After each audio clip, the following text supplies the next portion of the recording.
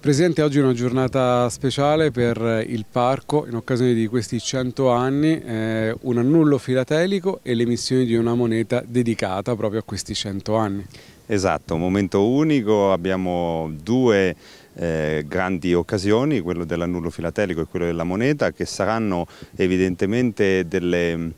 eh, rimarranno nel tempo, quindi l'annullo filatelico ma anche la moneta saranno espressione di questo centenario per i prossimi anni e rimarranno a memoria di questo evento straordinario. Il parco compie 100 anni, 100 anni di storia, 100 anni di un parco che ha coniugato lo sviluppo socio-economico alla conservazione. È un parco questo che è nato in un territorio antropizzato, è nato nei, in un territorio dove sono presenti ed erano presenti dei borghi, è un parco che è nato coniugando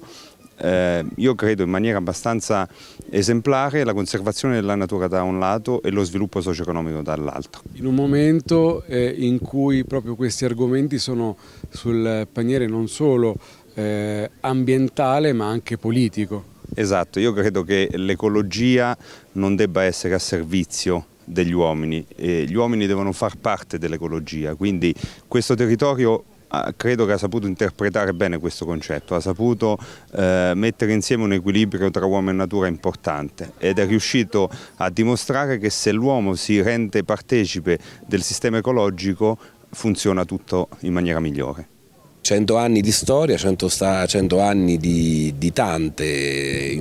iniziative, di tanta evoluzione, di tanta crescita e quindi è giusto che sia così che lo Stato riconosce con il franco l'annullo filatelico e con, eh, con, la moneta. E anche un po' a suggellare quella che 100 anni fa una grande intuizione su questo territorio, la costruzione di questo parco che insomma ha, porta lustro alla nostra regione, porta lustro anche in un momento particolare come questo, il tema centrale in questo momento è la vicenda legata all'orso e noi siamo un modello perché costruito negli anni eh, con, di, con, dei protocolli specifici, con il protocollo Patom, ma con una cultura che si sta elaborando, cioè una forma di eh, coabitazione dove ecco, io mi permetto di dire al centro deve esserci e c'è l'uomo, per quanto mi riguarda questa è la mia posizione, ovviamente riuscire a tenere insieme tutto questo. Però ecco, siamo in una giornata di festa, giornata importante, eh, lo Stato è presente qui a Pescarceroli proprio con, a testimonianza del grande lavoro fatto in questi cento anni.